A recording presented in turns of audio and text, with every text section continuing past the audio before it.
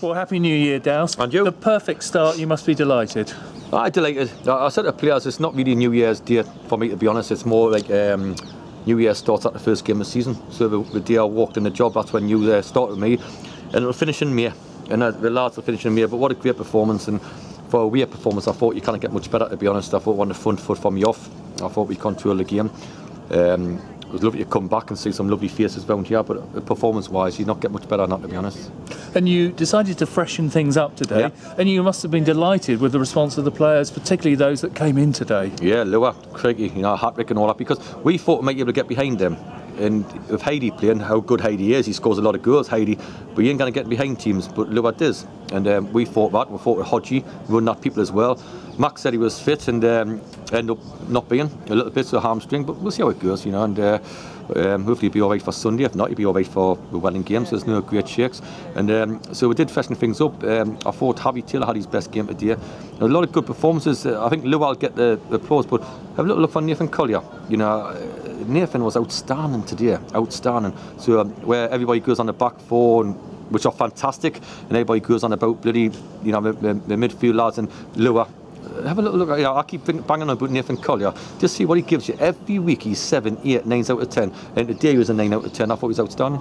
Well, I agree with you because I picked him out in commentary, and I actually Yeah. said he reminded me, for anybody who's ancient, of Paul Madeley, who was a utility player with Leeds, could play at centre back, midfield, full back, and Nathan Collier, as, Yeah. as you say today, made some crucial interceptions in the first half, did, and he was always available, wasn't he? Ah, but his defending was great as well, and uh, I keep on banging on what a great lad he is and how valuable he's been to me since I've managed him, and he's never caused me any problems whatsoever. Um, so I'm delighted to get him in the summer, and people are saying, "Oh, what's he about?" And I think now he's shown what he's about. To be honest, I think he's been absolutely excellent. Yes, Gavin, yes, Cook, Casey, but, but we always get the mentions. Nathan never gets a mention, but um, but it's great. Like, listen, I, I wish the supporters and anybody a happy new year because the way we have backed us today and when you walk out there and you see all that fans from there all the way around to there it takes some doing that to be honest you know and, and um, for a club like ours so hopefully we're um, giving them something to celebrate and cheer about at this minute. But a long way to go obviously. And um, but we look forward to game by game and we'll get the Watford one out of the way then we've got Welling to look forward to you know.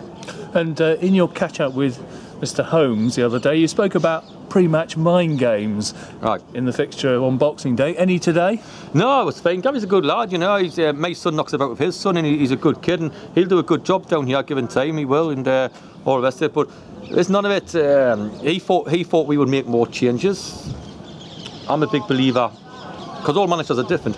I'm a big believer that you've got to win every game you play, um, and always have done. You never got to get a bigger squad or get one or two out and one or two in. That's what you do. So I'm not really into that, really. But um, you probably thought we'd make more changes because we're saving ourselves for the, um, the Watford game. But it's no same. The lads have been, uh, like, listen, main games, me, I'm not good enough to do them.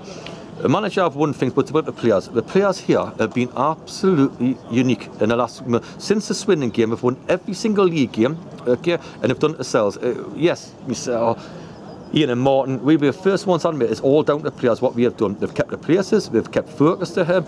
We've said to them, I'll tell you what, because what what what happens a lot is some players won't put tackles in because they, they don't want to miss the Watford game. We've sort of said to them, if you do that, you won't play. And they've bought into that massively. I haven't been able to change that much except for today because the players have been that great. How could I change the back four and the goalkeeper? How can I change the midfield? I freshen things up as a gamble up front. But the players themselves, uh, don't worry about the manager and don't worry about all that dinkum like and other players have been the ones who got the through. And me, Ian and Martin will be the first to admit that. We have been absolutely excellent. And it must have been particularly pleasing as well to find yourself 2 0 up at half time, Hmm. so dominant. The temptation might have been to take it easier in the second half, take your foot off the gas, but it wasn't to be, and you came out all guns blazing. I thought we'd done that in Boxing Day, and that was the message. Look at Boxing Day, we were comfortable at half time, we're doing really well. Second half, we made a game it. I'm not saying that it didn't, you know, but today was different. Today, I thought we were all game. To be honest, I think, uh, you know, I'm not trying to be clever and you know and stuff like that. I wouldn't disrespect own club, um, old club, sorry. But the bottom line is, I thought we were that dominant through the game. I'm, I'm delighted how we're done, and it's all down to players. It's all down to players. I'm telling you that now, and the help of the supporters and what the supporters give with. You know, like if I was a player, and um, I've always said how much I wanted to manage this club, but if I was a player and I walk out and I see that, it must give you a buzz. Yeah, I did. I went a little bit earlier today just to thank them for coming. And it, it, gives you a massive thing, and our fans and all that. So we're very proud of our supporters, we really are, and what we give us. So I hope it, I hope it continues for as long as we can, you know. And Dowse, I'm finally going to mention the W word, the Sorry. Watford game. I thought you were going to talk about Welling.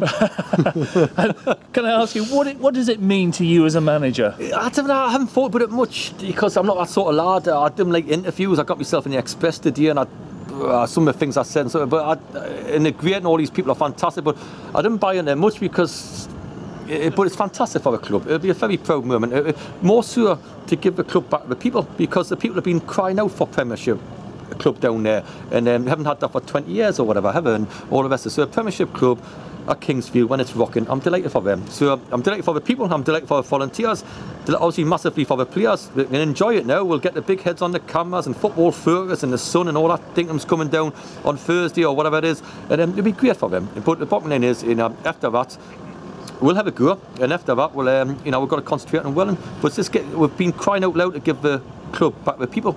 If you give the club back the people, the people will buy into it. You know, what a great opportunity to do it. So if we get five, six here and we can keep a couple of thousand of them and build this great club up again, that's what we're doing, because maybe over the last few years it's went down a little bit.